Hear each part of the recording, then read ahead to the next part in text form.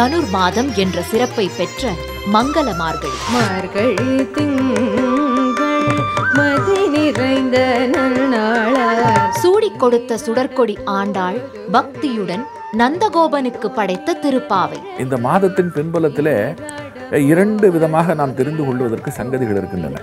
ஒன்று ஆன்மீக பின்புலம் இன்னொன்று அறிவியல் பின்புலம்.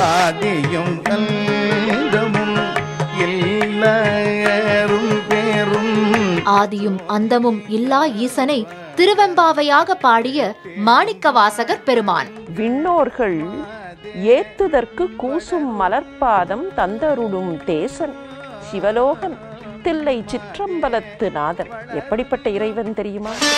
எழுத்தாளர் இந்திரா சவுந்தரராஜன் டாக்டர் சுதா சேஷையன் டாக்டர் கணேஷ் செல்வி ராஜீவி கணேஷ் ஆகியோர் வழங்கும் திருப்பாவை திருவெம்பாவை விளக்க உரை மற்றும் வாய்ப்பாட்டு. மார்கழி வைபவம் தினமும் காலை ஆறு முப்பது மணிக்கு நமது புதியுகத்தில்.